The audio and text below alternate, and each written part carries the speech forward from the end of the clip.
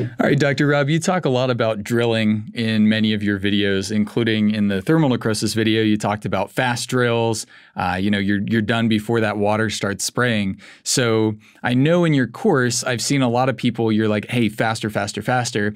What can you tell people about getting faster at drilling? How do you get faster? First of all, before I answer how you get faster, let me tell you why people are typically slower with their drills when they go guided. And, and, and the reason is, and I, and I actually just came to this epiphany this week because I was doing a case for a periodontist that had done, that's been doing implants for 10 years plus, right? But they're doing their first guided case. And then it dawned on me when you do freehand and you get your implant to create, you, you get your drill rather, to create the purchase point, you don't give it up. You never come off. If you get on target, it's like the Star Wars stay on target. Once you get a freehand drill on target, which is the hardest thing to do because the tip of the drill wants to fall off the hard bone, it wants to go to the to the buccal, it wants to go to the lingual or wherever. You want it to go where you want it to go, and it's fighting you. But once you get it to, to, to get a purchase point and it starts to bite just a little bit, you don't give up.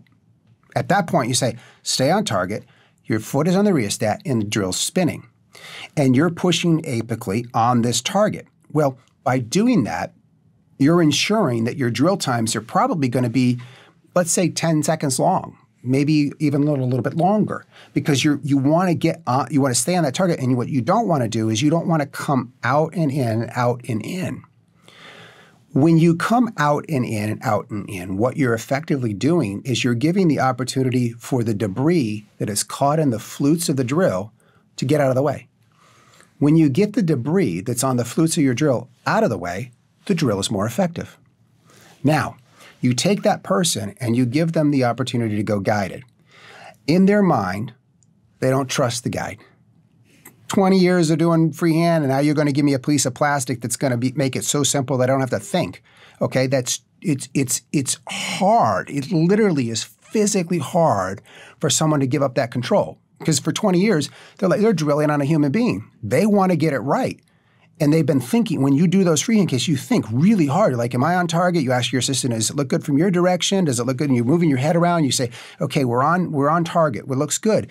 Now you're just saying, put drill in hole. it's like so primitive that it hurts. It literally hurts. So you put the drill inside the guide, and all you have to do is push it to the to the point where it doesn't go any deeper. So the guide system that we use from BioHorizons has a collar on it that prevents the drill from going too deep. You cannot hit a vital structure. You can't. If the guide is seated properly, when you go in, it only goes to the depth that you that it goes to, and it stops well safe of the floor of the nose, the floor of the sinus, the inferior nerve, uh, inferior alveolar nerve, all of the vital structures are avoided.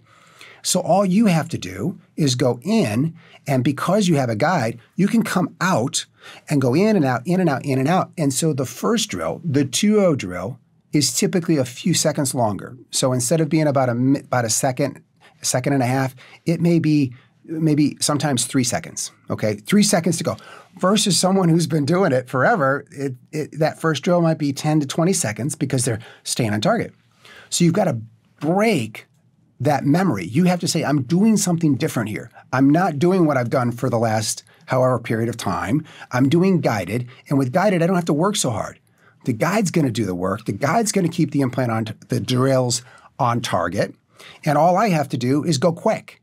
And the reason you go quick is because you don't want to linger in the hole. When you get your drill all the way to depth, if you leave your drill in there and it's spinning, it's doing nothing to remove any more bone. It can't occupy the same space at the same time. It's a physics thing, right? We've, we remember that in high school, right? Two objects can't occupy the same space at the same time. Um, I think it comes from our atoms in their valence uh, uh, orbits, right? If we remember that. So if they can't occupy the same thing, when the drill is all the way to depth, you've already removed the bone. The bone's gone. Get out of the hole. We have doctors that get in there, and I don't know why because we train them over and over again. And once you get to depth, just pull it out and go to the next drill.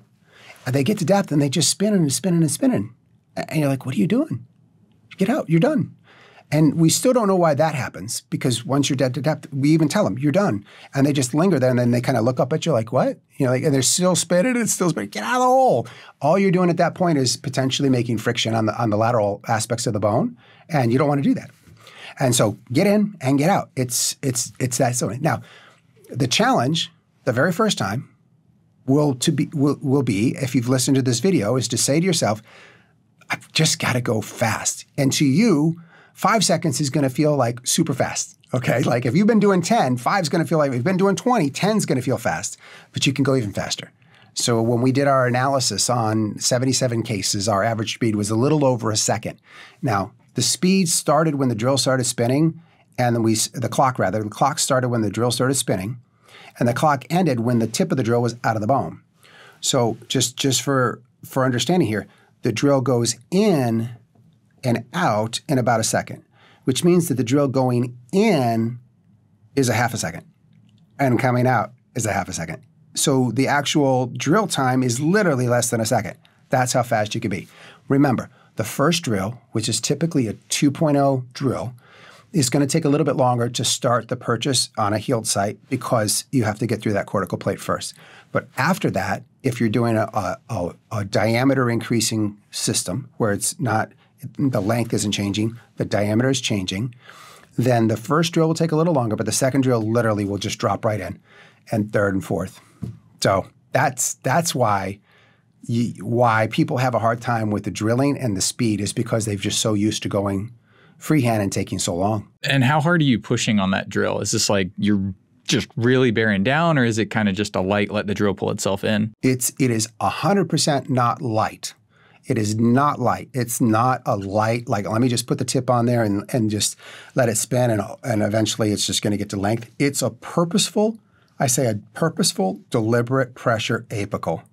Okay? It's not so hard that I start breaking things because on, on, on the high end, you know, I've got some buddies that are dentists that, you know, they're, they're big, strong bodybuilders and stuff, you know, they, they could bend and break a drill and or surgical guide in a heartbeat.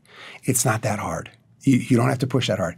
And when you do push, it's very, very important that you push along the axis of the drill. If you put a, a bending moment on the drill, the drill will snap inside the hole. Okay? So if the drill snaps inside the hole, I want you to be mad at yourself. Okay? Because there's only one reason a drill breaks inside a guide it's your fault doctors, it's your fault. You got you, you got to own that. Okay, don't be mad at anyone. Just say I put pressure on it. I've done it myself. I've broken numerous 2.0 drills. I've never broken a 2.5 or bigger. Why? Because bigger diameter implants are stronger than smaller diameter implants, and bigger diameter drills are stronger than smaller diameter drills. So the 2.0 is your is your one that you're likely going to have a problem with. It's it's more narrow because it's only two millimeters wide. But I've I've twisted them. I've gotten them uh, bent and I've had them break.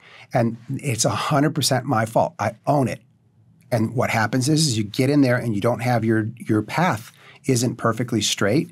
And as you're going in, you bend the implant a little bit in the in the driver, in your, you know, in your motor, and that's at an angle. And if you put an implant that's spinning at an angle, you're actually bending it back and forth.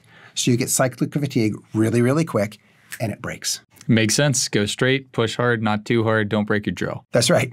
Perfect. Pretty simple, in and out. And speaking of simple, this has been another episode of Implants Made Simple. I'm Dr. Robert Stanley, the Smile Engineer, out.